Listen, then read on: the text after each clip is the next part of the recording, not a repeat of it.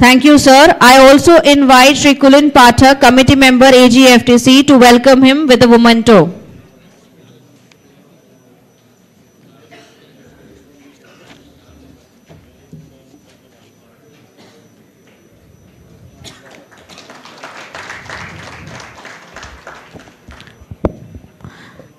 It is indeed my humble privilege to, to introduce and invite Dr. C.A. Gaurav Gupta, who is an author of various books on GST and service tax, various articles and papers in well-known journals and authors in online resource uh, guide.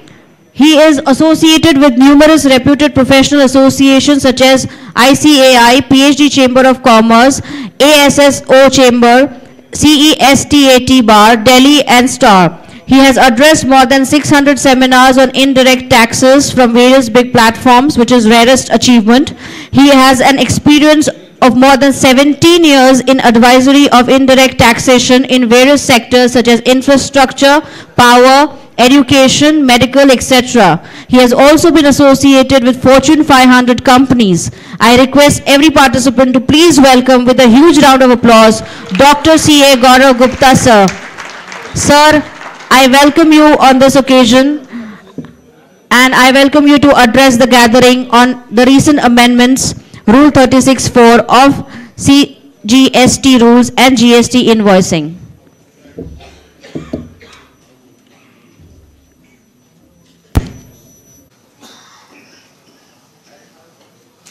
Respected presidents of the two association, all Gujarat federation of tax consultant and income tax bar association Ahmedabad respected members on the dais of the dais senior members past present and very respected members of the fraternity a very good afternoon to all of you जब GST आया,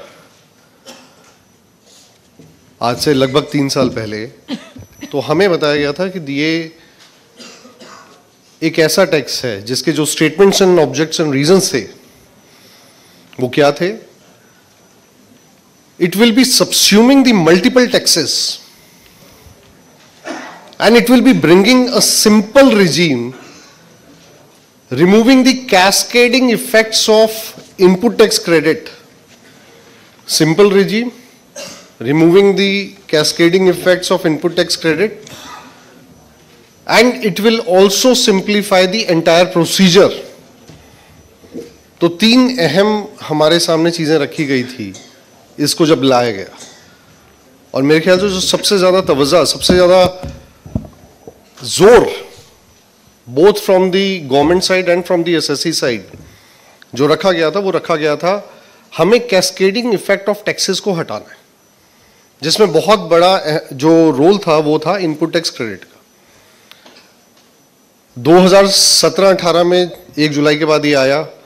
More than 300 changes were brought in within one and half years of this particular new law just to ease out just to understand कि हाँ ये problems आ रही हैं SSC के सामने, इनको ईज करते चले जाते हैं और इसी जद्दोजहद में कई स्टॉप गैप अरेंजमेंट्स भी गवर्नमेंट ने करे। आप सबको ध्यान होगा, अगर हम 2017 की बात करें तो 2017 के अंदर ओवरनाइट सोते थे तो पता चलता था सुबह तक दो सर्कुलर या दो नोटिफिकेशन आ गए 2017 खत्म हुई 18 आई। 18 के अंदर वो दौर जो है वो थोड़ा स्टेबल हुआ। 17 के अंदर अगर आप देखेंगे मेजरली जो चेंजेस आए थे वो आए थे रेट्स के ऊपर। 18 में जो चेंजेस आए हैं वो प्राइमरली आए हैं प्रोसीजर्स के ऊपर। 17 में जो सबसे मेजर चेंज आया था प्रोसीजर पे वो केवल रिटर्न पे आया था। 18 में things got a bit stable और 18 के अंदर जो चेंजेस आए, वो ईवे बिल की इंट्रोडक्शन का भी आया। आपके रिटर्न्स के अंदर और चेंजेस आए। वन स्टेबलाइज हुआ वन की डेट एक्सटेंड करी गई। One was you know the prime target की जीएसटी और वन की फाइलिंग करवानी। फिर 2018 खत्म हुआ 2019 शुरू हुआ। जनरल इलेक्शंस देश ने देखे। और उस सिलसिले के अंदर एक ऐसा दौर आया कि फरवरी से लेकर अक्टूबर तक, आप अगर ध्यान करें तो जीएसटी में कोई मेजर चेंज नहीं आया। जबकि गवर्नमेंट फॉर्म हो गई थी। गवर्नमेंट फॉर्म होने के चार महीने तक जीएसटी में कोई मेजर चेंज नहीं आया। और एकदम, अक्टूबर के अंदर हम सबके सामने एक नया रूल खड़ा किया जाता है। कौन सा रूल साहब? Thirty six four. और वही आज मेरा मुद्दा है। कई बार जब मैं सोचता हूँ, गवर्नमेंट ने अनाउंस कर दिया था कि हम एक अप्रैल से नई रिटर्न लेकर आएँगे। जब आप एक अप्रैल से नई रिटर्न ला रहे हैं तो 9 अक्टूबर 2019 को ये एक नया रूल इंट्रोड्यूस करना और इसकी कंप्लायंस सारे एसएससी से मांगना। मैं दोनों तरफ़ के व्यूज़ आपसे शेयर करूँगा, गवर्नमेंट के भी और एसएससी के भी। और इसकी अपनी जो इश्यूज़ हैं, वो भी। तो जब ये लाया गया, तब ये समझ नहीं आ रहा था कि ऐसा क्यों? इतने छोटे पीरियड के लिए फ्रॉम अक्टूबर टू मार्च और अक्टूबर की भी इफ़ेक्टिव डेट है तो इसका मतलब क्या हुआ? नवंबर से लेकर इफेक्टिवली मार्च तक आपने चार महीने के लिए एक नए रूल की कंप्लायंस सबके सामने रख दी। तो जो सबका फोकस था टैक्स पेयर का, आप प्रोफेशनल्स का, और गवर्नमेंट का, वो न्यू रिटर्न से हटके, कहाँ चला गया? वो न्यू रिटर्न से हटके थर्टी सिक्स फोर पे चला गया। Sir how many of us have tried the new return mechanism very frankly हम में से कितने लोगों ने नई रिटर्न को भर के देखा है? सर चेहरे ये बोल रहे हैं कि पुरानी रिटर्न ही नहीं भरी जा रही अभी तक सर आप नई की बात कर रहे हैं। नहीं, मैं we have to very serious note thing that we are going to face something from first April and onwards and we have not even seen so what will happen जब हमें पहली रिटर्न भरने का मौका मिलेगा तो हम लोग क्या करेंगे? Sir again in the month of May when the first A N X one and N X two will hit I can tell you it will again go into a major disaster if you see A N X two it needs a preparation beforehand but चलिए sir जब ये आया थर्टी six four तो एक बार ही तो सबने सवाल किया, मैं बहुत दिनों तक ढूंढ रहा था इसका जवाब। कि इस स्टेज पे क्यों लेकर आने की बात हुई और पॉलिसी में काफ़ी बात हुई। एक सेमिनार में मैं इसका ज़िक्र किया तो वहाँ पर एक शख्स ने बहुत ही अच्छी बात कही कि साहब, जब जीएसटी काउंसिल मिली छह सात महीने के बाद, क्योंकि मार्च के बाद कुछ बहुत अच्छा हुआ नहीं था तो जब वो छह सात महीने के बाद मिली तो सभी जो मेम्बरान थे, जो मेंबर्स थे, उन्होंने क्या कहा? उन्होंने, हम तंग हो चुके हैं मुसल्ल अमन से आलमपना शहर में कुछ कतलेआम का आदेश कीजिए।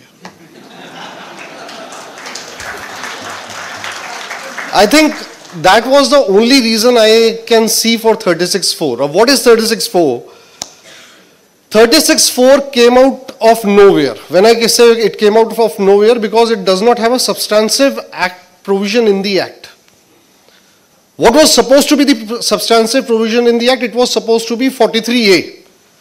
Which is still not enacted, which is not effective as on date.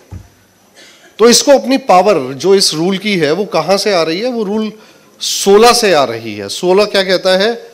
Every registered person shall be eligible to avail input tax credit on all the goods and services which are use in the course of furtherance of business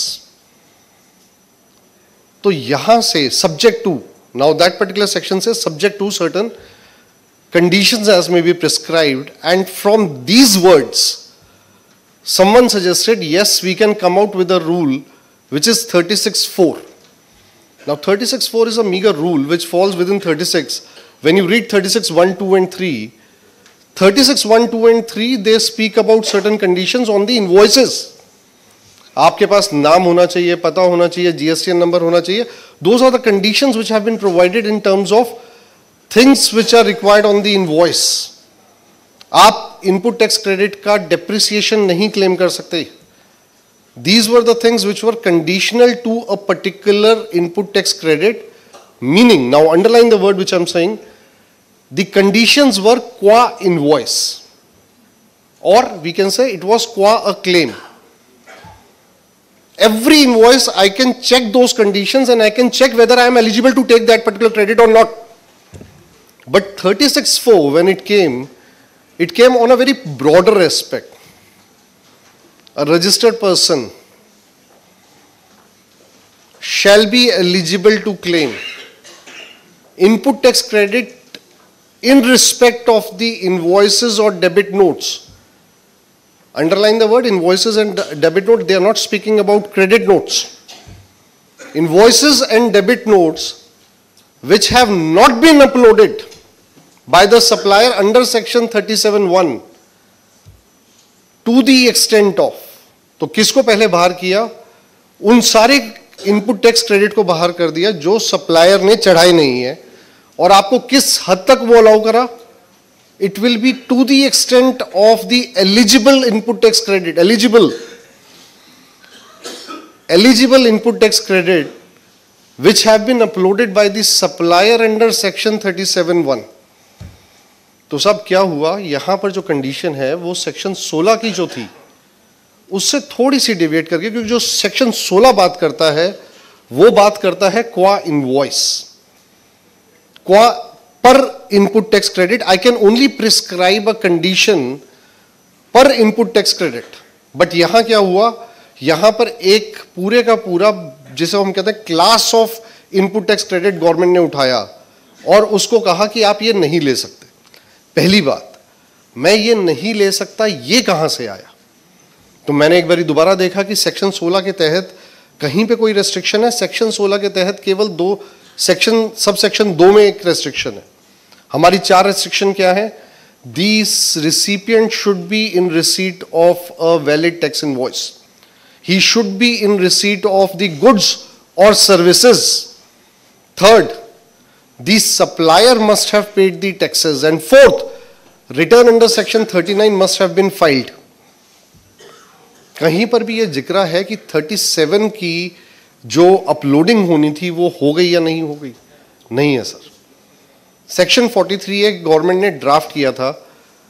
आपके amendment के अंदर जब इसको लेकर आए थे, अगर आप उस सेक्शन को पढ़ेंगे तो वो क्या कहता है? It start with non obstante clause और नॉन ऑप्शनेट क्लॉज में वो कितने सेक्शंस को ओवरराइड करता है? Notwithstanding section 37 section 38 section 41 section 42 section 43 इतनी सेक्शंस को बाईपास करने के बाद उसके पास पावर आई थी to restrict the input tax credit और यहाँ पर क्या हुआ? रूल 36.4 एक रूल जो एक छोटा सा रूल था वो कहीं से आया और उसने इस पूरे के पूरे क्रेडिट को, जो एक एलिजिबल क्रेडिट था किसी भी एसएससी का, उसको रेस्ट्रिक्ट कर दिया। Now sir there are many question which come up why this rule was here the story from the S side we have seen from the government side when this particular rule was brought in the question which was asked was only relating to one thing how to control the fake in invoice menace What is this term, fake invoice? Fake invoice क्या चीज़ होती है sir I don't know सुनी है अभी तक। हमें अभी तक इसके ऊपर कोई कानूनन डेफिनेशन नहीं पता। फेक इन इनवॉइस क्या हो सकती है? सर अब मैं आपको अलग अलग कैटेगरी डिस्कस करता हूँ।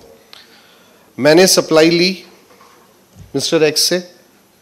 मिस्टर एक्स उस वक्त थे जब सप्लाई करी बट उसके बाद उन्होंने शहर बदलकर दुकान अपनी यहाँ से उठाकर कहीं और ले गए। अब यहाँ पर क्या होता है, जो सज्जन अपनी दुकान शिफ्ट करता है एक स्टेट से दूसरी स्टेट में, उसको दूसरे स्टेट में जाकर नया नंबर लेना पड़ता है, पुराना नंबर ट्रांसफ़र नहीं होता।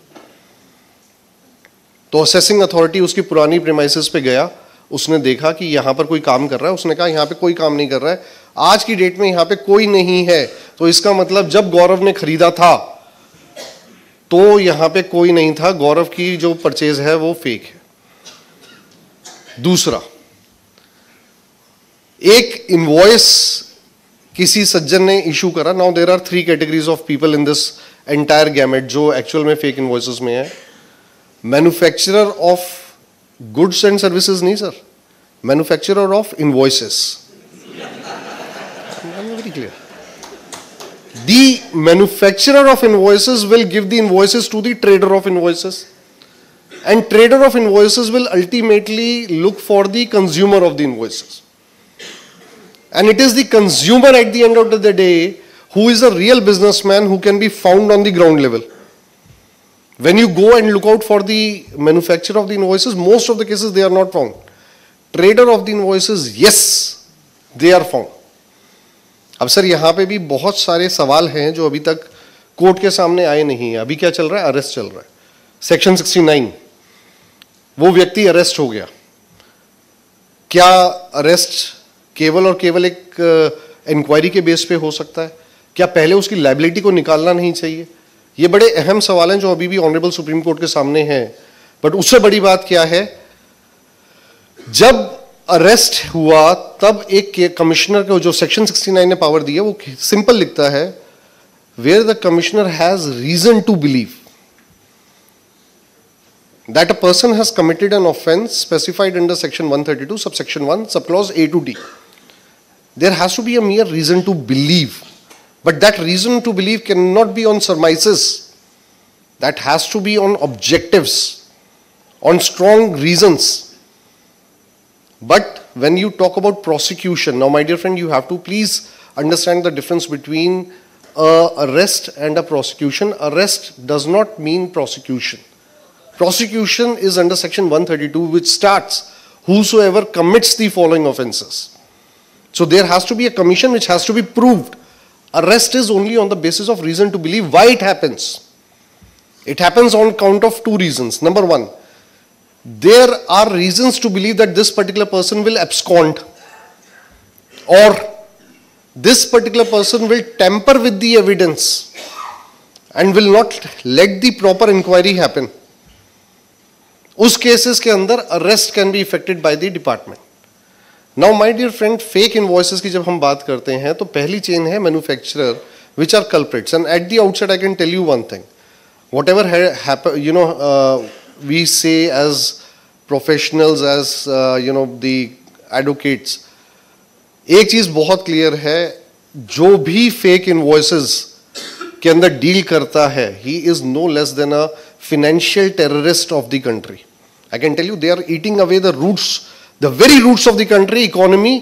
जब तक देश का पैसा जो सरकार का है अगर इस तरीके से जाएगा हमारी इकोनॉमी स्ट्रेंथन नहीं हो सकती what is the quantum we are setting on Our respected Honorable Finance Minister, late Shri Arun Jaitley ji, he penned the figure of this fake menace at 70,000 crores.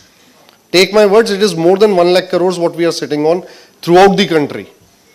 अब सर थोड़ा सा इसको मैं दो minute के लिए लेना चाहूँगा 36 फोर पे आने से पहले अब ये बात आई कि साहब मैन्युफैक्चरर जो है वो क्या करता है वो कुछ नहीं करता है थ्री एक पावर देती है आप जो मर्ज़ी क्रेडिट के अंदर डालिए आउटपुट के अंदर डालिए, उसको सेट ऑफ़ करिए और आप अपनी रिटर्न फ़ाइल कर दीजिए। तो जब मैं थ्री बी के अंदर अपना इनपुट टैक्स क्रेडिट डालता हूँ, कोई बार है मेरे पे? I can put one crore one thousand crore any figure of my choice and it takes now what has happen this manufacturer of so called the invoices उसने अपनी return के अंदर सिर्फ़ अपना क्रेडिट दिखाया और आउटपुट एडजस्ट किया return file कर दी। जीएसटीआर वन के अंदर सारी लाइबिलिटी दिखाई। इस पूरे के सिस्टम को, पूरा सिस्टम अनर्थ करने में गवर्नमेंट को डेढ़ साल से ऊपर लगा। तब तक damage was cost more than what anybody could have expected now एक व्यक्ति था जिसने इसको पहली बारी भरा, उसके पास कोई टैक्स इन्वॉइस नहीं था। मैं आपको प्रॉब्लम्स बता रहा हूँ पूरे सिस्टम की। उसके पास कोई इन्वॉइस नहीं था। उसने केवल एक हवा में फिगर को भर दिया इनपुट टैक्स क्रेडिट की और उसके बेसिस पे उसकी रिटर्न फ़ाइल होगी। उसके बाद जो ट्रेडर था, उसके पास एक टैक्स इनवॉइस थी जो उस मैन्युफैक्चरर ऑफ़ इनवॉइस ने दी और उसके बेसिस पे उसने क्रेडिट को क्लेम किया। अब देखिए, यहाँ पे ईमानदारी थोड़ी शुरू हो जाती है। पहला बेईमान था, दूसरे ने जो क्रेडिट लिया, वो इनवॉइस के बेसिस पे लिया। तो दूसरा बंदा कहता है, देखो साहब, मैंने क्या गलती करी है? मेरे पास तो इनवॉइस था। मैंने क्रेडिट लिया और मैंने आउटपुट इनवॉइस दिया। तो उस बंदे ने जो क्रेडिट लिया, वो एक टैक्स इनवॉइस के बेसिस पे था, जो कि प्रॉपर सेक्शन 31 के अंदर इशू हुई थी। Now my dear sir see the anomaly in the law जिसके कारण इस बार ही फाइनेंस एक्ट जो फाइनेंस बिल 2020 प्रेजेंट हुआ है, उसने इसको दूर किया।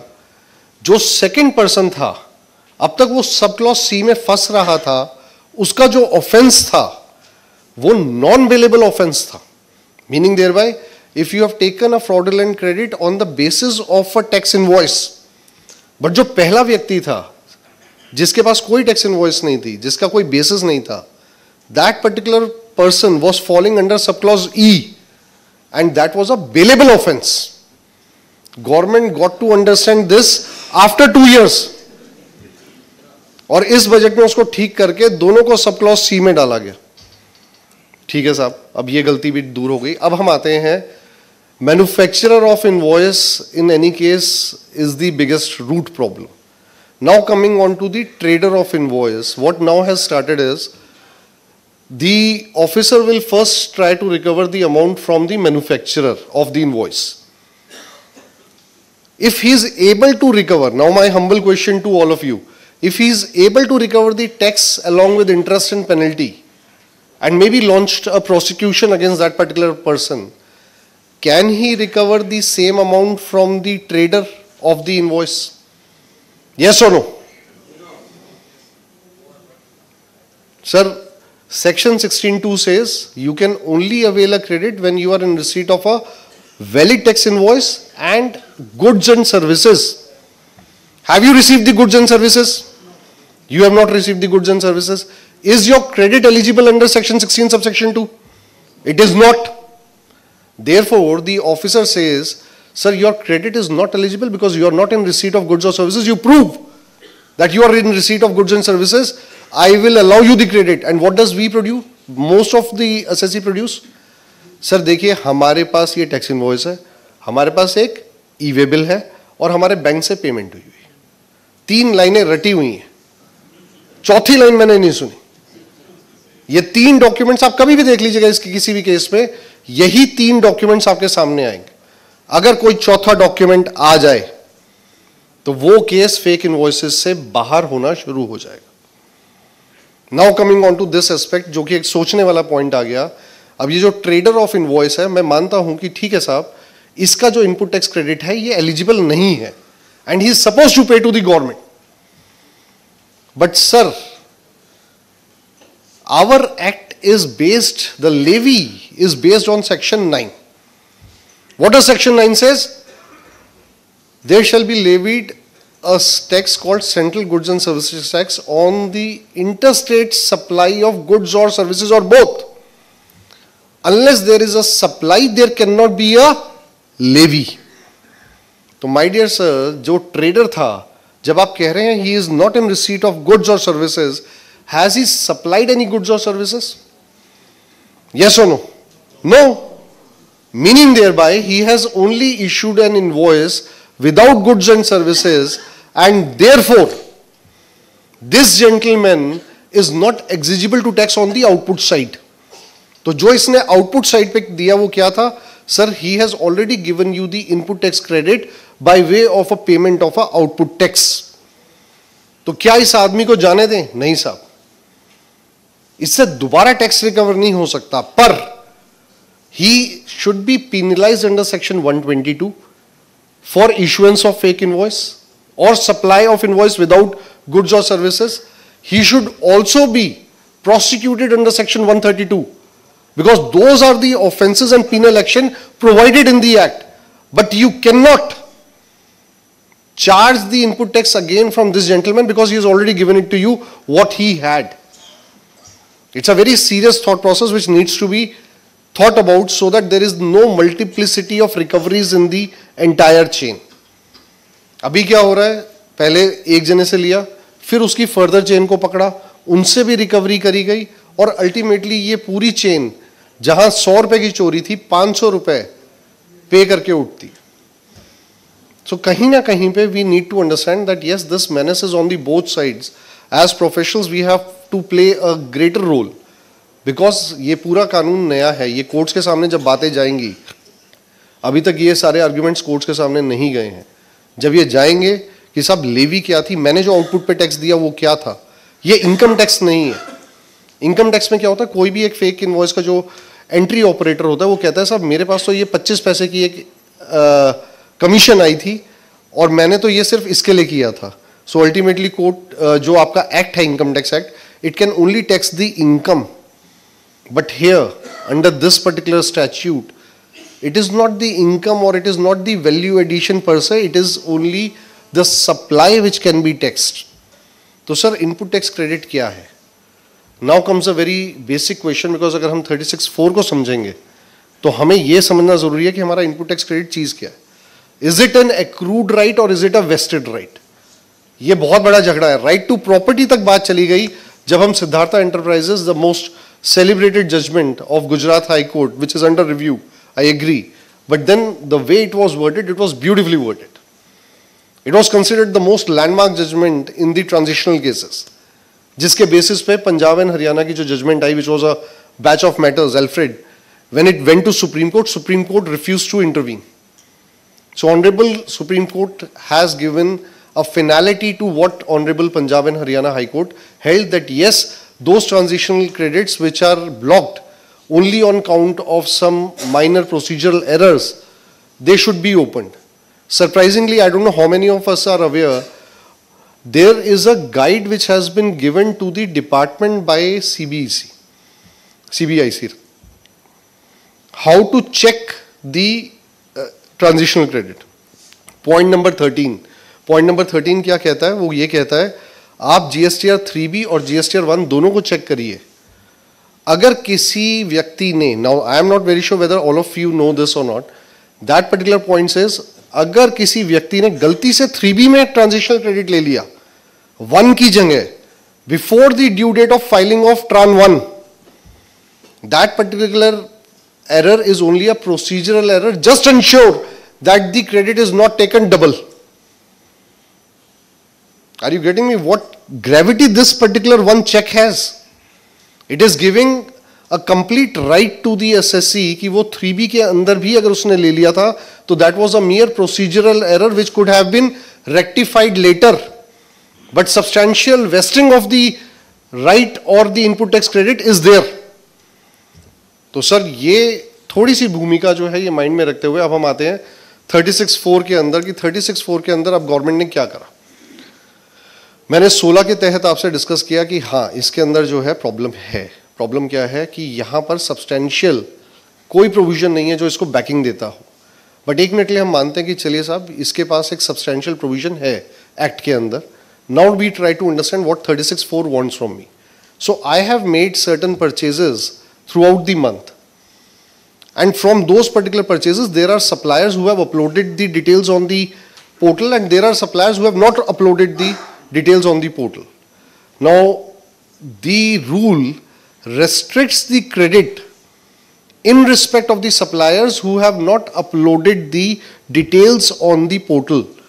Meaning thereby 37 one के तहत जो अपलोडिंग होनी थी केवल ये उसकी बात करता है अब 37 वन के तहत तीन अपलोडिंग्स तो होनी नहीं है कौन सी कौन सी नहीं होनी मेरे आरसीएम की नहीं होनी मेरे इंपोर्ट ऑफ़ गुड्स की नहीं होनी और तीसरी मेरे आईएसडी की नहीं होनी। पहले तो इन तीनों क्रेडिट्स को बाहर कर दीजिए और इसको पूरा ले लीजिए, इन पे 36 फोर एप्लीकेबल नहीं है। अब बच जाता है कौन सा, जिनके ऊपर मेरे को सबसे किसी भी व्यक्ति से या तो डेबिट नोट आएगा या मेरे पास टैक्स इनवॉइस आएगी। अब सर, दूसरी हम सिचुएशन लेते हैं। Is this rule act wise और is it rule in a consolidated manner has to be complied with छोटा सा एग्ज़ाम्पल लेते हैं। 20 परसेंट का ही मैं रेट लगाता हूँ एक मिनट के लिए। हुआ क्या कि सब लोगों ने बड़ी मेहनत करी इसके ऊपर गवर्नमेंट को समझाने की, जब ये 20 परसेंट का रूल आया कि सर ये गलत है, थोड़ा सा रेस्ट्रिक्टिव है, बड़ा कंप्लाइंट्स हैवी हो गया है। तो इतनी रिप्रेजेंटेशन गई गवर्नमेंट के पास कि गवर्नमेंट के पास जब कंसिड्रेशन हुई, सारी रिप्रेजेंटेशन तो उन्होंने क्या करा एक जनवरी से? दस परसेंट कर दिया। उसके बाद कोई रिप्रेजेंटेशन नहीं है उसके बाद तो एक ही बच जाता ज़ीरो परसेंट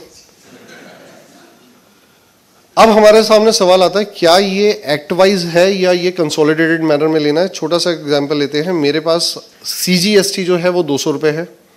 एसजीएसटी जो है वो दो सौ है। आईजीएसटी जो है वो सौ रुपये सी और एस के जो मेरे सप्लायर हैं, उन्होंने अपनी रिटर्न्स में अपलोड कर दिया डिटेल जो मेरी परचेज की थी, उनकी सप्लाईज की। पर आईजीएसटी के सप्लायर ने नहीं करी अगर हम इसको कंसोलिडेटेड बेसिस पे देखें तो चार सौ रुपये मेरे टोटल अपलोड हो गए हैं, और 20 परसेंट चार सौ के कितने होते हैं अस्सी रुपये I can avail four hundred and eighty rupees and input tax credit into my return but if I take it act wise what will happen CGST 100 rupees has been uploaded and 100 was my claim. So there is no margin there. SGST, again, no margin there. IGST, nothing has been uploaded. So I can only avail what? 20% of zero, which is zero. So effectively, what claim I can make? I can make a claim of 400 rupees. Now, sir, if you take it consolidated, your claim was 480. If you take it act-wise, your claim is 400. My dear friend, the first humble submission which I am making is, this particular rule talks about a act-wise compliance. It does not speak about a consolidated compliance. Nobody should in the audience will stand up and say one nation, one tax.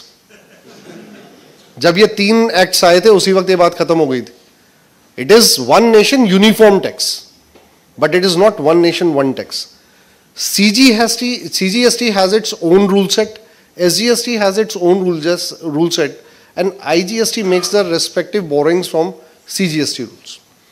So you can't there is no provision under three of them कि sir आप एक काम करिए तीनों में से जो extra margin है वो मेरी तरफ़ अप्लाई कर दीजिए।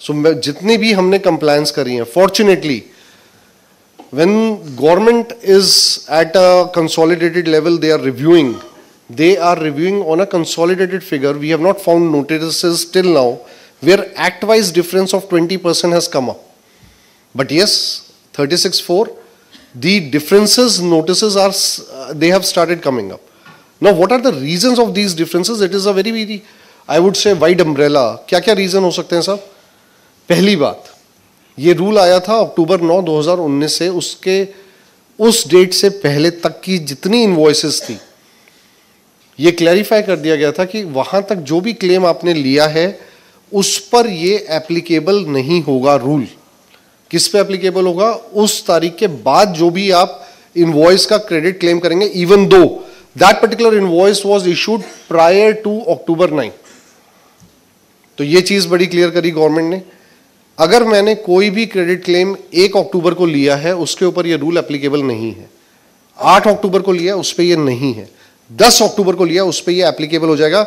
Even though that particular invoice is dated September 2019 और इवन अर्लियर एक चीज़ का, सबसे पहली चीज़ का ध्यान रखिएगा। तो हुआ क्या? मैंने अक्टूबर के अंदर सितंबर के भी क्रेडिट्स का क्लेम लिया। और उसके कारण जो है, मेरी 20 परसेंट की जो कंपेरेटिव है विद टू ए वो मिसमैच हो गए and so on in the fourth coming months तो सबसे पहला नोटिस किन लोगों को आ रहा है? जिन्होंने अपने क्रेडिट्स को डेफर किया था in the subsequent month subsequent month में टू ए कम था। और पिछले महीने का क्रेडिट यहाँ पर आ गया। ये मैचिंग जिसकी भी हुई, उसको नोटिस इश्यू हो गया। सर इसका क्या रेजोल्यूशन है? इसका रेजोल्यूशन बड़ा सिंपल है। आप जब भी प्रेजेंट करेंगे अपनी picture please do not try to address one particular month उसका रीजन क्या है? आप अगर एक महीने को करेंगे तो आप एक ही महीने को करेंगे, फिर अगले महीने में आपका नोटिस आएगा। जब भी करें टेक अ क्वार्टर और at least take six months that will I can tell you clean up your entire thing जब भी दोबारा नोटिस आए kindly please refer to our communication dated so and so already submitted with your good office, explaining the reason why there was a difference between the 2A and 3B of the six months. हम लोग क्या कर रहे हैं? We are trying to address every particular issue one by one this is not income tax sir this is GST it is an indirect tax you can't play at a singularity level in this particular law. You will have to understand the issue. You will have to take it on a holistic basis. क्यों? हम आज तक indirect taxes जब करते आ रहे थे I have been into this particular taxation only specifically कभी भी इनडायरेक्ट टैक्सेस के अंदर बड़ा फंडामेंटल रूल था। तीन चीज़ें थी। नंबर एक taxes were independent the payment of tax was independent of the returns number two returns could be revised and therefore a issue of a particular month was limited to that particular month number 3 in many states there was a concept of annual return where anything which was in error could be rectified by using that particular annual return now, my dear sir, what happened in GST? GST first said, no, no, no, your tax payment is married to your return. अगर return file होगी तो ही आपका tax पे होगा otherwise क्या होगा tax पे नहीं है तो हुआ क्या साहब मेरे पास सौ रुपए की सप्लाई के ऊपर टैक्स था, नब्बे रुपए का मेरा जो था आईटीसी था। और मेरे पास दस रुपए में से पाँच रुपए नहीं थे। और मैं एक एस था, मैं किसी तरह कोशिश कर रहा था कि वो पाँच रुपए इकट्ठे कर लूँ। मैंने एक महीना लगाया पाँच रुपए इकट्ठे करने में। मेरी जो पूरी पिचानवे रुपए की पेमेंट मेरे हाथ में थी, नब्बे रुपए आईटीसी में, पाँच रुपए मेरे कैश लेजर में। मैं उसको भी टूवर्ड्स गवर्नमेंट डेबिट नहीं कर पा रहा था। और अल्टीमेटली क्या हुआ? There has been a battery of notice which has been issued for delay in filing of return on the gross amount तो सर, उसको कैसे आपने कहा? उसमें sir government came out with a very simple logic आपके पास Megha engineering Telangana high court का judgment आया। उसने कहा section 50 the way it is worded it is only under section 49 a payment can be made by debiting of the electronic credit और debit ledger तो जो अब तक आपके वो डेबिट नहीं होंगे, तब तक जो है ये आपकी पेमेंट नहीं मानी जाएगी। उस वक्त कोर्ट के सामने कुछ अहम मुद्दे, जो कि thirty first GST council meeting ने रखे थे, जब उन्होंने ये अमेंडमेंट प्रपोज करी सेक्शन 50 का जो प्रोवाइजो लाए सब सेक्शन वन का। तो वो प्रोवाइजो लाए तो उन्होंने क्या रीजन दिए? Number one GST is a value added tax it should be levied only on the value addition and therefore the interest should also be levied only on the value addition part, which is the cash payment part. Number two, आपकी जो return है आपका act आपके कहीं पे भी ये नहीं कहता कि रिटर्न जो है सेल्फ असेस टैक्स को शो करते हुए नहीं सबमिट हो सकती।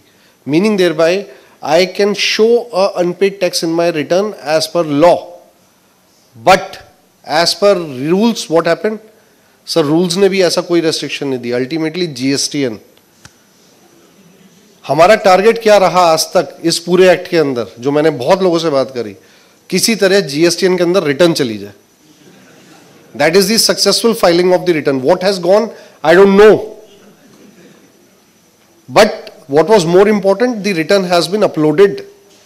And sir, that is the starting point. It's a simple computer computer work on a very simple fundamental garbage in garbage out and that happened when you saw your annual return were they any matching annual return में जो supply की figures थी, वो कहाँ से pick करी गई थी? जीएसटी वन से.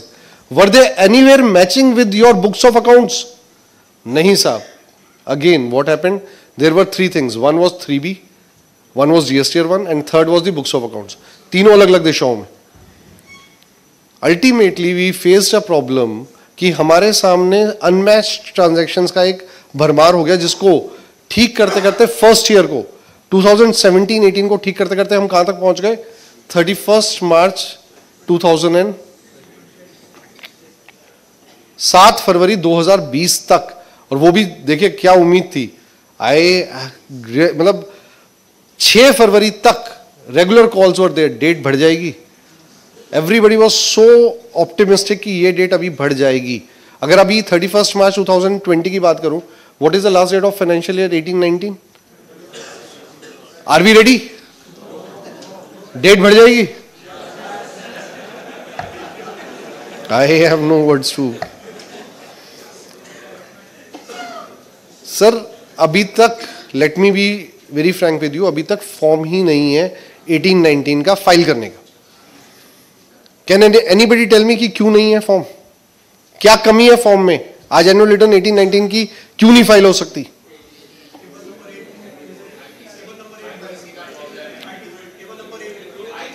Eight A sir I don't know how why and how this eight A has created a problem eight A के अंदर सर मेरा क्रेडिट जो है वो मैच नहीं कर रहा मेरे टू एस से।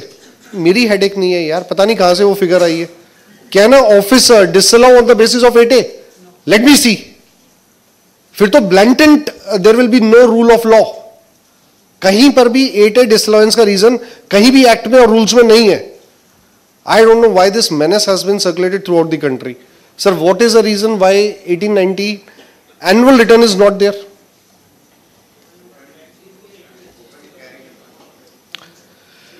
sir 10 to 14 ठीक है sir table number 10, 11, 12, 13, they talk about any adjustment of 1819 1819 made subsequently in 1920 but sir what about the amendments which we have made in 17, 18 within 18, 19 जो कि हमने अपनी एनुअल रिटर्न 17, 18 में दिखाई है। जब तक मैं उसको 18, 19 में से बाहर नहीं करूँगा मैं 18, 19 की करेक्ट टर्नओवर और टैक्सेस के ऊपर पहुँच ही नहीं सकता। This particular problem is known ultimately the only resolution which I see government will change the notes notes में क्या आ जाएगा? Kindly show the net figures in column number 10 11 12 and 13 that is the only resolution which I see now sir 36 four again we have seen तीनों acts जो हैं अलग अलग हैं. तीनों की कंप्लायंस आपने अलग अलग करनी है. Second word which you have to take a lot of care with eligible Now, what has happened is there is a businessman who purchased a Mercedes during a particular month. Now, that particular Mercedes had a credit of around 30 lakhs. And now you are matching his 2A with his eligible ITC as per his ITC register. Now, sir, if you are blindly taking every figure of 2A, this 30 lakh is also appearing in that 2A. So what you will be taking 30 lakh plus 10%, 33 lakh towards your comparative to ITC register. आपको ये तीस लाख हटाना है। You only have to take eligible what mean what is meant by eligible number one any blocked credit under section seventeen sub section five remove it any goods और services which has not been yet received but only invoice is there meaning thereby goods in transit services which are yet to be given please remove all those particular credit also number three there are credits also in case of branches, multi branch locations, कि इस branch की invoice उस branch पे issue हो गई। इन particular cases में बहुत ध्यान रखिएगा वो क्रेडिट्स आपको यहाँ पर काउंट नहीं करने। एलिजिबल राइट सर पहला एक्ट वाइज दूसरा तीन ट्रांजेक्शन जो आईटीसी रजिस्टर की एब्सोल्यूट अलाउ होंगी। उसके बाद आपको एलिजिबिलिटी क्रेडिट्स को भी देखना है। Now comes once you have done this filtered then comes the time when you will put up 10 percent limit and compare with your ITC register अगर आईटीसी रजिस्टर पाँच सौ रुपए का है, आपके पास टू के अंदर चार सौ रुपए आ रहे हैं, सौ रुपए जो थे, वो थे टूवर्ड्स इन एलिजिबल वो आप हटा दीजिए। तीन सौ रुपए बच जाते हैं, तीन सौ रुपए पे दस परसेंट। तीन सौ तीस रुपए का क्रेडिट आप ले पाएँगे against your five hundred so what will happen to your one seventy rupees of credit sir Carry forward, sir. Does the rule speak about any carry forward, sir? Where is this carry forward coming out from? Nowhere. Are you getting me, sir? Rule is incomplete. It does not provide a mechanism to factor the carry forwards, the leftovers or excess which has been claimed. It's a fundamental flaw in the rule. जब ये rule draft किया गया, आपके carry forwards आपके take over leftovers कुछ नहीं ध्यान करा गया। तो हर टैक्स पीरियड में मेरे को कहा गया independently compare so what will happen ultimately sir somewhere the assessing authority tomorrow will say Gaurav October में तुमने कम लिया था, वो तुम्हारी प्रॉब्लम है। नवंबर में जो तुमने ज़्यादा लिया रूल के हिसाब से वो अलाउड नहीं। Am I very clear sir and I have face this आप महीने की बात कर रहे हैं जब हम एक्साइज और सर्विस टैक्स में एक क्रेडिट एक फाइनेंशियल uh, ईयर दो फाइनेंशियल ईयर की बात थी सोलह सत्रह सत्रह अठारह। रादर पंद्रह सोलह सोलह सत्रह। पंद्रह सोलह में मेरे एसएससी ने दस करोड़ रुपए टैक्स एक्सेस पे किया था। और सोलह सत्रह में उसका आठ करोड़ पे शॉर्ट पेमेंट थी। तो we went to the department and we were having a discussion on the final closures of the audit and what reply we got there was a mechanism if you had paid taxes extra you could have taken a refund but the shortfall which is there on the eight crore please pay Am I very clear, sir? So these scenarios will come up definitely before you and me. But more importantly the question which is before you and me is sir मैंने जो है गलती से मैं मानता हूँ because मेरे को जो टाइम फ्रेम मिला है पहले तो महीने के तीस दिन मिले तीस दिन के अंदर से मेरे को दो रिटर्न फ़ाइल करनी है, केवल और केवल जीएसटी की। वो भी कौन सी? जीएसटी और वन और three B one is not a return it is a detail of outward supply let's not go into technical terminology one मैंने फ़ाइल करी, ग्यारह तारीख तक सबने फ़ाइल करी। अब 11 तारीख से लेके मेरे को कितना टाइम फ्रेम मिलता है to decide and I have not one two और three clients for those hundred two hundred three hundred what number you are sitting on वो 250-300 लोगों का आपने जो three A versus two A versus ITC register matching है, वो कितनी देर में करनी है? नाइन डेज़ भी सर बड़ा ग्रेशियस पीरियड है, क्योंकि उसमें क्लाइंट के पास से आपके पास 11 तारीख को रजिस्टर होना चाहिए। Effectively what a professional gets is only four days उसमें आपको एलिजिबल क्रेडिट भी फ़िल्टर आउट करना है मैचिंग भी करनी है, उसके बाद आपने टेन परसेंट का लिमिट भी लगानी है। अब थोड़ा सा ही तो काम है। And we are you know thinking कि इसमें बड़ी प्रॉब्लम है। आज अगर आपने 10 परसेंट के ऊपर नहीं इतनी चीज़ें देखी my dear friend from first April A N X two is coming what does N X two wants it want a invoice level, acceptance, rejection और kept for pending. और अगर आपने कोई एक्शन नहीं लिया तो डिफ़ॉल्ट एक्शन क्या है? एक्सेप्टेंस और डीम्ड एक्सेप्टेंस का क्या मतलब है? That particular credit will be tomorrow you reverse it there will be a interest which will come up now let me come back on 36 four simple question कि sir, मैंने जो है गलती से नवंबर 2019 में 10 लाख रुपए का क्रेडिट ले लिया, जबकि मेरी एलिजिबिलिटी बिकॉज़ एक पॉसिटी ऑफ़ टाइम था, मेरे पास उस पॉसिटी ऑफ़ टाइम में जो मेरा क्रेडिट बनता था, वो बनता था as per my two A eligible credit आठ लाख रुपए का। और उस पर मैं दस परसेंट या बीस परसेंट जो भी जोड़ू लेट मी सपोज़ नौ लाख रुपए का मेरा टोटल एलिजिबल क्रेडिट बनता था as per thirty six four तो एक लाख रुपए जो ये एक्स्ट्रा है let's not go into perfect number but जो क्वेश्चन ये है, ये जो एक लाख का एक्स्ट्रा है, इसकी रिफ्लेक्शन मेरे सप्लायर्स ने अगले महीने में दी दिसंबर में।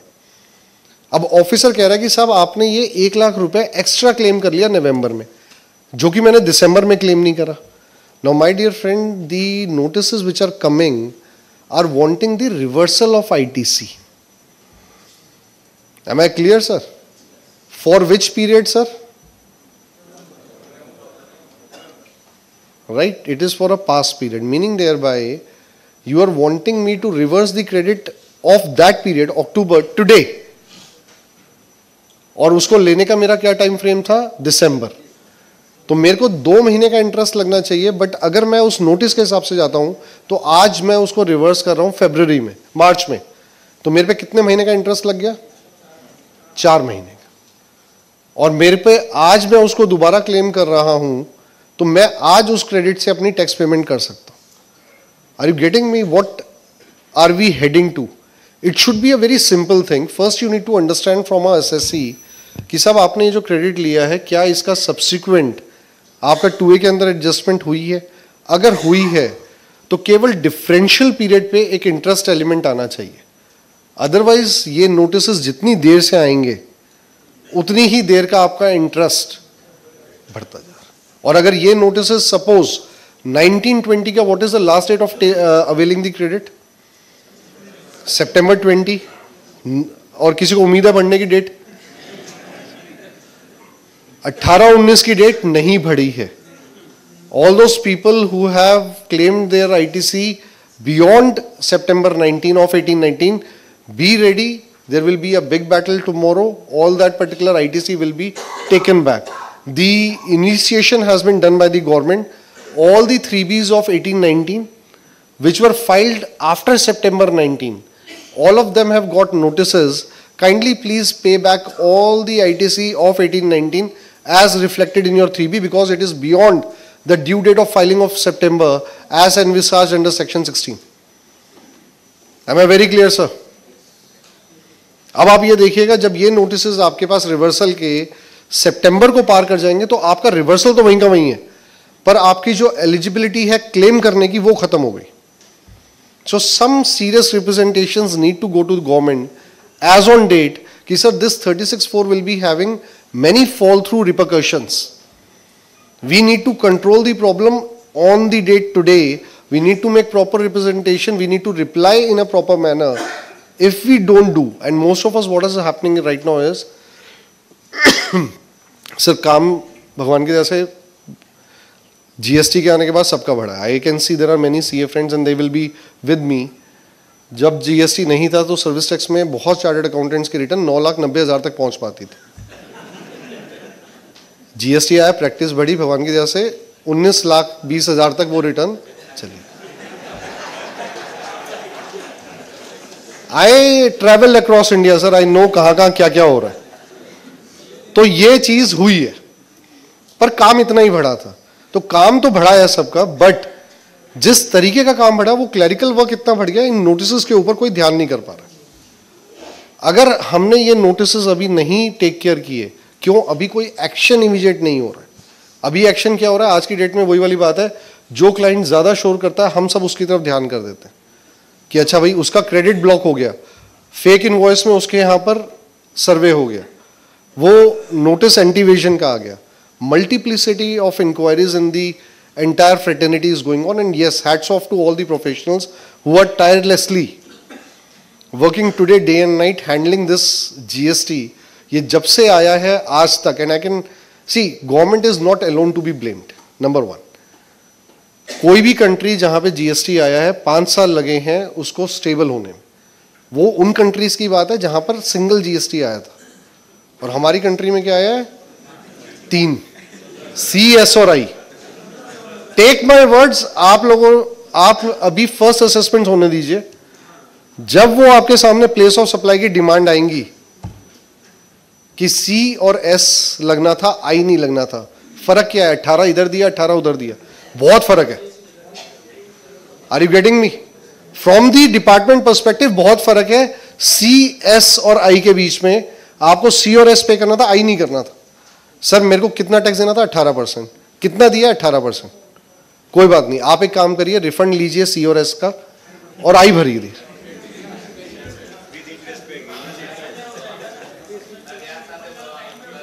सर केरला बरबेंस साजी that is the only decision which talks about you know shifting of credit but unfortunately if you read that particular judgment that is very misquoted all across it has a very specific facts which provides की officer के कहने पर उसने C और S पे किया suo moto payment नहीं करी तो सेक्शन 77 और 19 की एप्लीकेशन अभी तक टेस्ट नहीं हुई मैं उससे बड़ी बात कहता हूँ। मैं अहमदाबाद में एक होटल रन करता हूँ। आप आए रहने अब सुबह का टाइम था, आपकी पाँच बजे की फ़्लाइट थी, चार बजे आपने होटल डेस्क पे कहा बिल रेज करो. तो वहाँ पर एक, आपको क्या लगता है मैनेजर या कोई बैठा हुआ? नहीं. There was only attendant who was there उससे आपने कहा बिल दे दीजिए. उसने सिस्टम खोला और बिल बनाया। आपने कहा, ये क्या है? This is C plus S I am coming from Delhi. You should issue me IGST. Now particular poor chap never heard about I C or S और उसको वैसी नींद खराब हो रही थी। उसने कहा, सर, आपको क्या चाहिए? आई चाहिए. रुकिए आप. आई लगाया दे दी वो आराम से सोने चला गया, आपने अपनी आराम से फ़्लाइट पकड़ी, वो इनवॉइस लिया और आप चले गए। अब हुआ क्या, इस होटल का ऑडिट हो रहा है दो साल के बाद। दो साल के बाद जब ये ऑडिट हुआ तो साहब उसमें क्या हुआ ऑफिसर कहता है, सर, इस पर तो सी लगेगा। तो सर, अब क्या करें? सर सी पे कर दीजिए आई का रिफंड ले लीजिए। तो सी इमीडिएटली पे हो गया। अब बारी आई आई के रिफंड की। आई का रिफंड तो गौरव गुप्ता क्रेडिट ले चुका। I am telling you this is gonna come in place of supply and you not understanding the gravity as of now sir Gaurav Gupta तो क्रेडिट ले चुका। Now it is your commercial problem between two of you please take back the I refund from Gaurav Gupta. Government does not have that tax unjust enrichment I don't hold that tax I can not pay you back Fundamentals of refund. But again, section 60, uh, 77 and 19 does not speak about this like this. So again, courts में ये cases जाएँगे and what is the quantum of place of supply problems we are sitting on? Can you imagine? Huge. अभी तक place of supply time of supply time of supply क्या है sir that is still not tested 36 four तो बहुत छोटी problem है now coming on another aspect of 36 four हमने कहा एक्ट्स भी अलग अलग है। हमने कहा साहब इसकी जो एडजस्टमेंट्स हैं, वो भी आपको देखनी है एलिजिबल और उसकी। नोटिस की भी बात करी हमने। अब एक बहुत अहम सवाल आता है, अगर मेरी रिटर्न डिलेड है तो मेरे को 36 फोर के अंदर जो एडजस्टमेंट्स हैं मतलब मेरा जो टू है, वो डायनेमिक है। अब देखिए इस चीज़ की प्रॉब्लम क्या है। अगर मैं 11 तारीख को अगले महीने के टू को पुल करता हूँ तो वो दिखाता है क्रेडिट जो है, वो है पचास रुपए। अगर मैं 16 तारीख को पुल करता हूँ तो वो दिखाता है क्रेडिट है अस्सी रुपए। And ultimately when I pull it on twentieth the last date of filing which is now extended to और twenty four 22 or 24 whatever, the credit increases to 90 rupees. Sir, which date 2a should i take to compare with my itc ledger for the purpose of rule 364 11th how many of us stay back in the office on 11th night to pull out the 2As of all the clients? None. और ये 11th की date कहाँ से आई है that is because of the press release now before I proceed let me read out CBIC press release number 62 by 2018 dated 18 10 2018 para 4 it is clarified, mark every word of this particular thing. It is clarified that the furnishing of outward detail in GSTR 1 by corresponding supplier and the facility to view in GSTR 2A is in the nature of taxpayer uh, facilitation and does not impact the ability of the taxpayer to avail ITC on self-assessment basis in consensus with uh, GSTR 1. Sorry section 16 ये clarification government ने ही issue करी है by their press release dated 18 10 18 जहाँ पर ये कहा गया कि आपकी टू ए की फैसिलिटी जो है वो केवल फेलिसिटेशन के लिए है फैसिलिटेशन के लिए sorry of the taxpayer it is not a mandatory it will not hinder your ability to take the credit as per section 16 now, how come 36 rule 36 4 when there is no change in section 16 Now, how can it change the entire dynamics of me taking the credit? Again, this particular circular is in contradiction to Rule 36.4. अब हम बात कर रहे थे 11 तारीख की sir 11 तारीख को क्या हुआ वो मेरे पास टू नहीं है वो टू किसी के पास भी नहीं तो मैं किस डेट का टू लेता हूँ मुझे नहीं पता सर जिस क्लाइंट की डेट का जब रिटर्न भरना होता है उस डेट में हम देख लेते हैं बट मैंने टू की जो अपनी मेरी अपनी टू है, वो बियॉन्ड ट्वेंटी फ़ाइल करा। तो वो और अपडेट हो गई और कई केसेस में तो क्या हुआ, मैं केवल क्वार्टरली डीलर से डील कर रहा था। तो मैं तो कह रहा हूँ, मेरा जो सप्लाई मतलब असेसी है, वो आके मेरे को कहता है, Gaurav please don't file my return on a monthly basis please file it even delayed on a quarterly basis because I do not have cash I have entire I T C from my quarterly taxpayer so you please file it after the quarter end So my dear sir, in that particular case, there will be huge repercussion for this gentleman.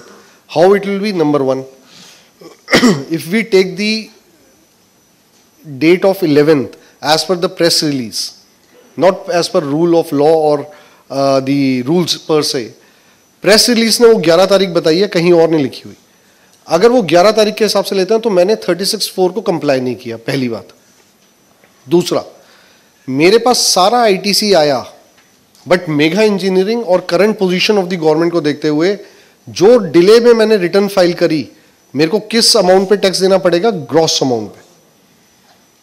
तो the assessee will be facing a lot of interest amount on the entire ITC not on a part of ITC and number three अगर उसकी ये return तीन तीन महीने late होती चली गई I can very well tell you sometime down the line you will get a notice why your uh, registration should not be cancelled. This is the reality which everybody of us is facing. So what everybody is suggesting, please file your return in time. You have to pay it by cash. There is no second choice. और ये सब कब हुआ जब ये rule 36 four के notice आने शुरू हुए उससे पहले अगर मैं अक्टूबर में भी मैंने कई गैदरिंग्स को एड्रेस किया नवंबर में भी किया I can tell you up to December जब तक ये पहले नोटिस नहीं आए थे जनवरी में दिसंबर तक nobody was serious about thirty six four sir ये तो ओवर रूल हो जाएगा। I myself have filed a writ against this particular rule it is pending before honorable delhi high court yes we have taken up the issue it does not stand it does not have legs to stand because it came out of nowhere आपका एक पूरा procedure था जो कि आपको बताया था 37, 38, 39, 41, 42, 43 ये रिटर्न प्रोसेस था। इसमें कहीं पर भी रेस्ट्रिक्शन नहीं थी on availment of I T C there was a process कि आप आई टी सी लीजिए पूरा और दो महीने में अगर आपका सप्लायर से मैचिंग नहीं होती तो आपको रिवर्स करना पड़ेगा। 42 10 43 but it never got effected GSC R two and three now tell me my dear friend I have taken inadvertently a credit which was never utilize right sir I am now reversing after 2 months. Am I supposed to pay the interest? Yes, sir. Yes or no? दो situation दे रहा हूँ. पहला, मैंने suo motu reversal कर दिया. दूसरा, मेरे पास नोटिस आ गया असेसिंग अथॉरिटी का कि आपकी सारी सप्लाई तो एग्ज़ाम सप्लाई है. आप आईटीसी कैसे ले रहे हैं? आप रिवर्स करिए. पहली सिचुएशन में do I need to pay interest sir notice आ रहे हैं इन चीज़ों के।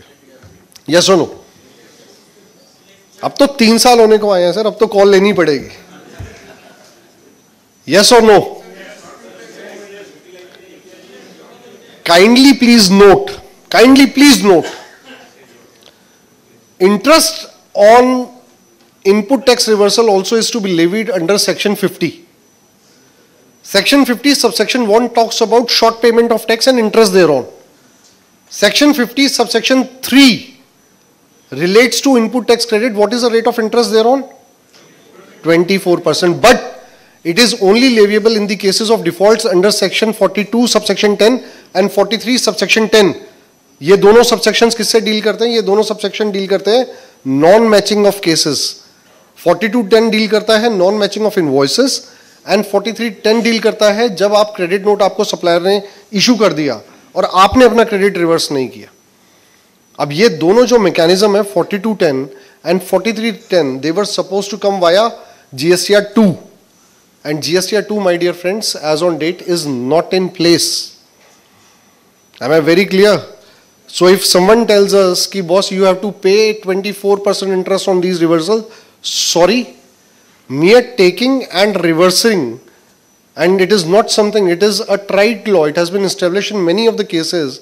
Yes, there was earlier a judgment, Honorable Supreme Court in Swift Laboratories, in those particular days it was availed and utilized but there was no concept like 4310 and 4210 तो वहां पे जब ये concepts नहीं थे तब उस कानून को आप इस कानून से मैं आप नहीं रख सकते साथ में you will have to the check the interest leviability under the present statute independently so don't please blindly do not pay 24% of uh, interest under 4310 uh, under 50 subsection 3 आप चेक करिए debate with your officer put your submission in writing that boss 4210 and 4310 का मेरा case नहीं है and in many of the cases where your assessee has not utilized, no interest would be levied in those particular cases. So 36.4 has got a battery of repercussions and if we do not look into the complete perspective, my dear friends, I can tell you it, the repercussions will not end today. ये repercussions आएंगे in the entire next year. अभी तो notices आने शुरू हुए हैं. The entire focus of the government right now is fake invoice. Normal assessment अभी शुरू नहीं हुई. I know uh, बहुत लोगों ने annual return और audit जब file किया था, तो a lot of notices in terms of audit, I think, have been received. आ गए हैं, अभी नहीं आए? आ गए हैं sir. Have they started? Audit शुरू हो गया सर अभी सिर्फ़ इंफॉर्मेशन डेस्क रिव्यू के लिए गई है I hats off to those officers जो अब आ चुके हैं जीएसटी ऑडिट के लिए, अभी तक मैंने नहीं देखे क्योंकि अब तो उन्होंने पढ़ना शुरू किया अभी तो सर्विस टैक्स एक्साइज के ऑडिट्स चल रहे हैं, उनको डेडलाइन भी ऑलमोस्ट आई थिंक एक दो महीनों की दी गई है। पर, जब जीएसटी ऑडिट सर पहले असेसमेंट्स और ऑडिट्स आएँगे C S I input tax credit register आपके रिवर्स चार्ज रजिस्टर तीन ही लेग्स हैं। अगर हमें सेक्शन तिहत्तर और चौहत्तर बाई हार्ट पता है 73 and 74 are the only recovery provision under the entire act हमारे एस कोई 122 और 132 के केसेस नहीं है। जहाँ पे उनके ऊपर पेनल्टीज और आ, बहुत सारे प्रोसिक्यूशन की बातें नहीं सब उनके पास मिलेंगे फ्रिवलेस और छोटे छोटे errors but yes their quantums can be large for example I give you very small example अगर आज भी मैं आपसे पूछूँ जो कि पूरे कंट्री के अंदर डिबेट है over the counter sale to a person who is coming from neighbouring state will it be C plus S और I over the counter sale सबको पता है सर बहुत सिंपल सा इशू है। मेरी दुकान है यहाँ पर। एक व्यक्ति आया, उसने कहा कि मेरे को ये जो टेलीविज़न है, ये अहमदाबाद से महाराष्ट्र ले जाना मुंबई ले जाना आप मेरे को ये सेल कर दीजिए, मेरा एड्रेस मुंबई का डाल दीजिए। मैंने सेल ओवर द काउंटर करी। Will it be a C plus S और it will be a IGST supply आधी आवाज़ इधर और आधी उधर। Are you getting the problem सब छोड़िए। मैं एक सवाल और करता हूँ, चलिए। मैं सर, अब एक मिनट के लिए सीए देखिए एडवोकेट से जब जब भी आप बात होती है कि भाई, इस पे सी लगेगा एस लगेगा, आपकी सर्विस पे कहेगा कोई भी लगे, मेरे को फ़र्क नहीं पड़ता। It is on reverse charge basis CA के लिए।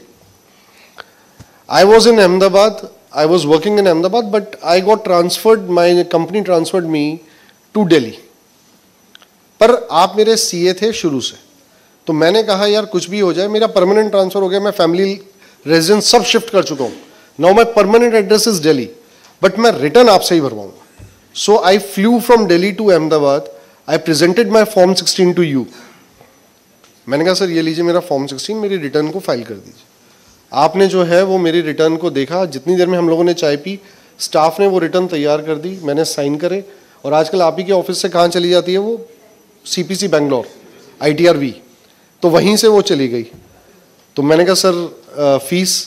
तो आपने कहा, गौरव, सैलरी रिटर्न है, ग्यारह हज़ार रुपये का चेक काट दीजिए।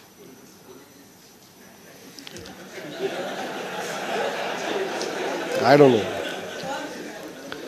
मैं कहा, चलिए साहब, ग्यारह हज़ार की तो बात ठीक है but what about this tax आपने कहा, मेरे को टैक्स जीएसटी भी चाहिए। What will be the application CGST और IGST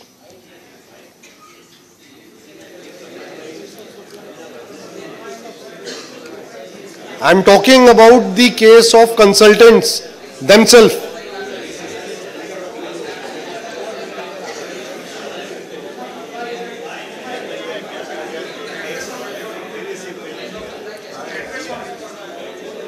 Address on record. Address on record will be determining the place of supply. It is Delhi of the recipient. It is a IGST supply. Now, my dear friend, I requested you, my brother still lives in Ahmedabad. He is running a shop here. Sir, please also file the return of my brother. Now you are filing the return of my brother. Brother नहीं आएँगे मैंने ही आपको पे करना है मैंने ही आपसे request करी है कि आप रिटर्न फ़ाइल कर दीजिए will it be a C plus S और आई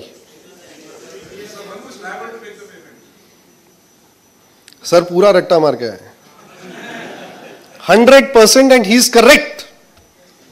It will again be a IGST supply even though that particular person of whose work you have done, who is the beneficiary, is a local person. Sir, we are sitting on a big, big problem in terms of place of supply.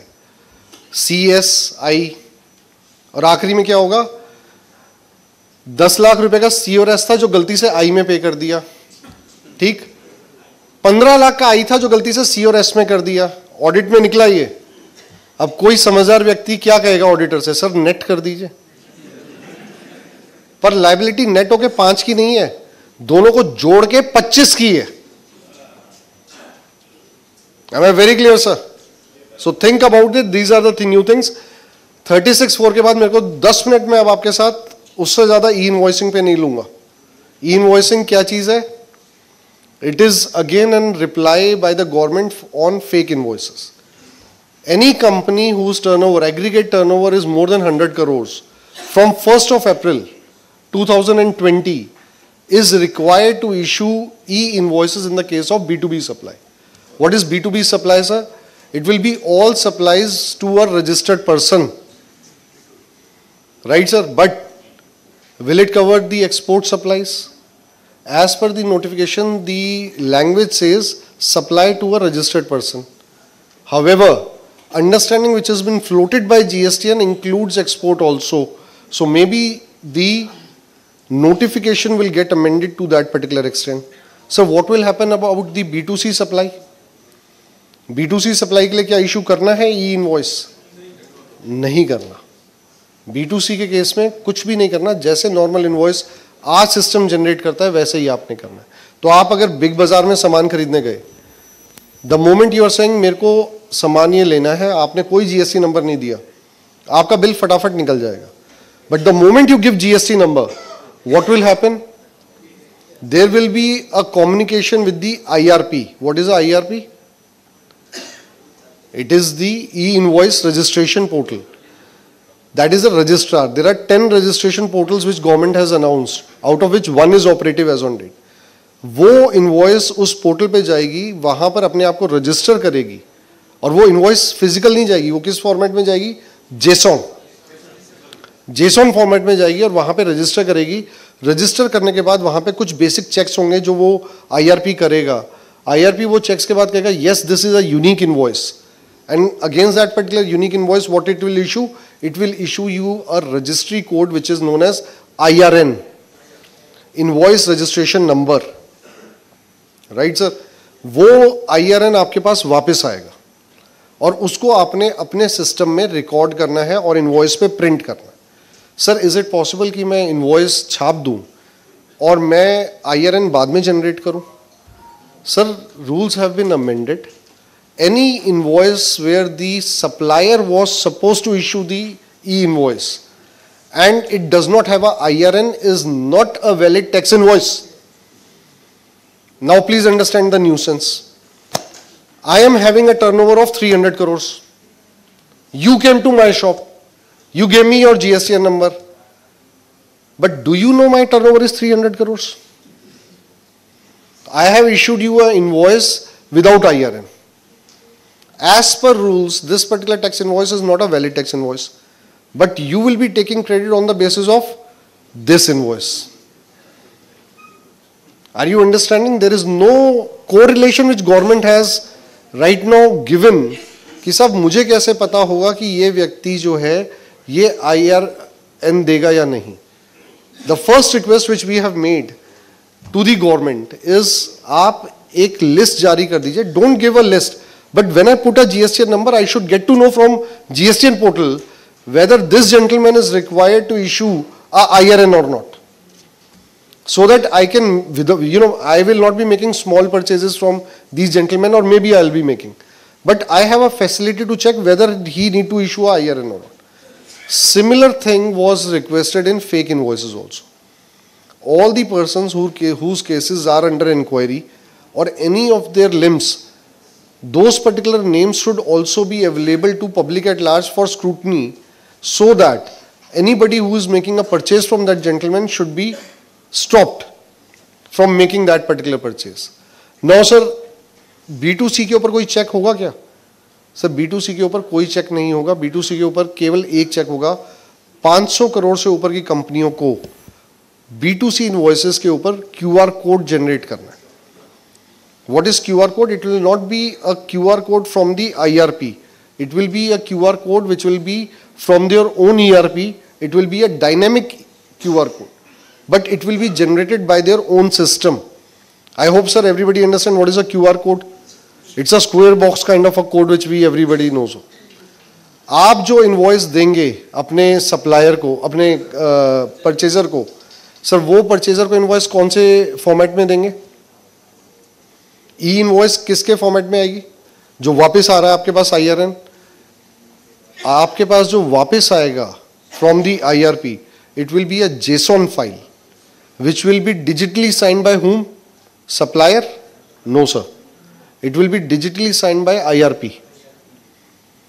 And that particular QR uh, code will also be there in that particular JSON file. तो JSON file में अगर किसी ने जरा सी भी छेड़खानी करी एक डिजिट भी छेड़ दिया तो वो पूरी फ़ाइल करप्ट हो जाएगी, वो वैलिड इनवॉइस नहीं रहेगी।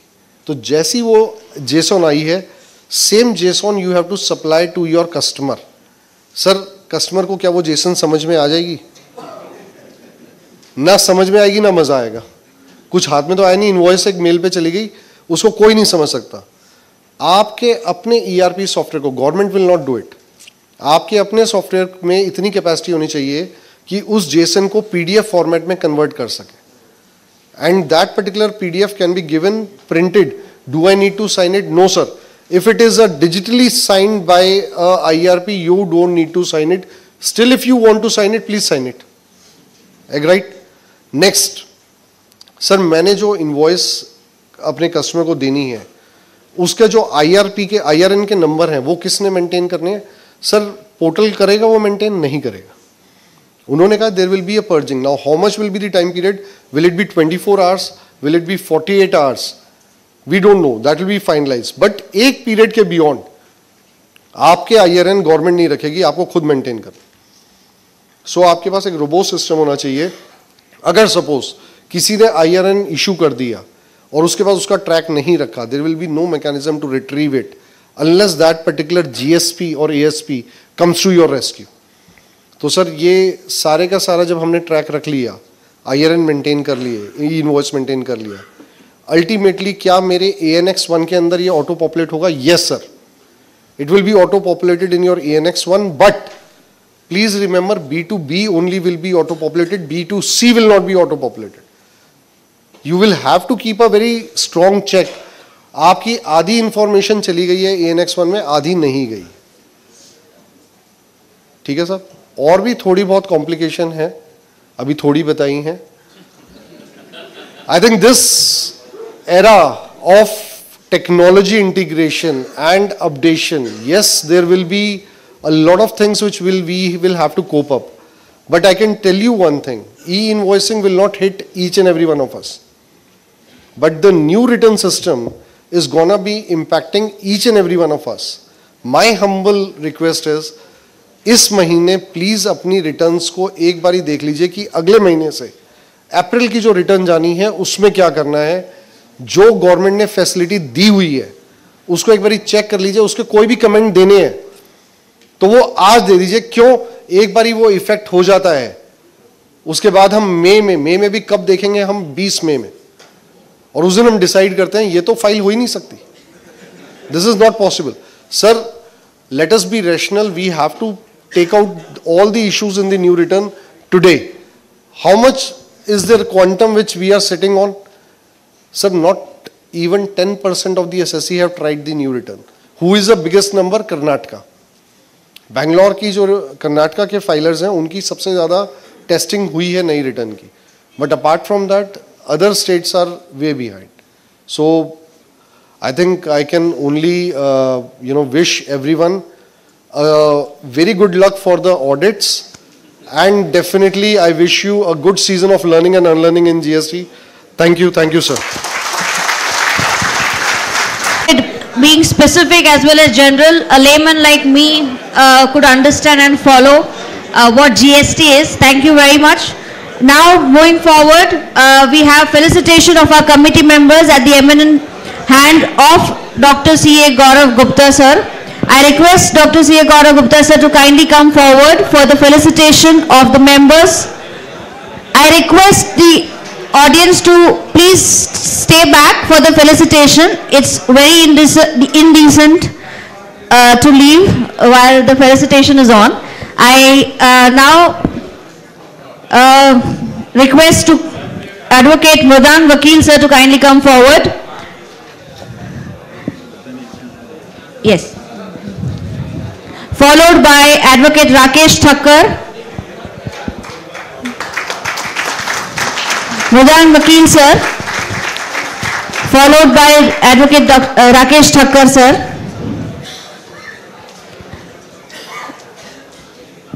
Then I invite Advocate Mahendra Vakil, followed by Advocate Kulin Pathak.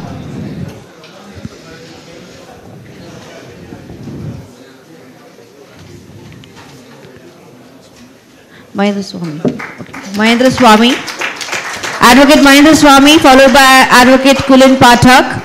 I also invite Advocate Manish Joshi, sir. Advocate Sunil Keshwani.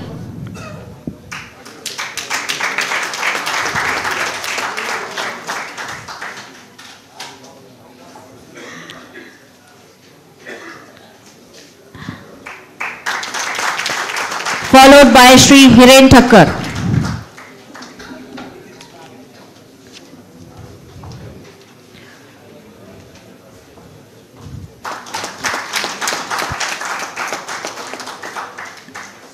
Thank you, sir. Thank you all. Thank you. This, this brings us to the end of the second. Sri Hiren Thakkar, sir. Yeah.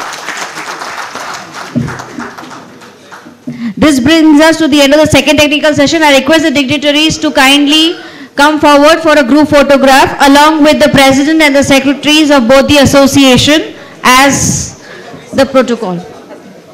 We have to reassemble in the auditorium at 2:30 sharp. I request the dignitaries along with Dr. C. Gaurav Gupta sir to kindly come forward for the photograph. All right, uh, reassembling in the auditorium is at 2.15 p.m. for the next session. The next, that is the third technical session.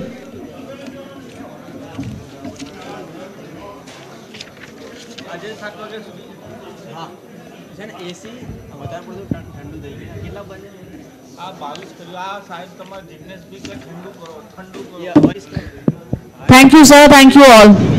Let's break for lunch. and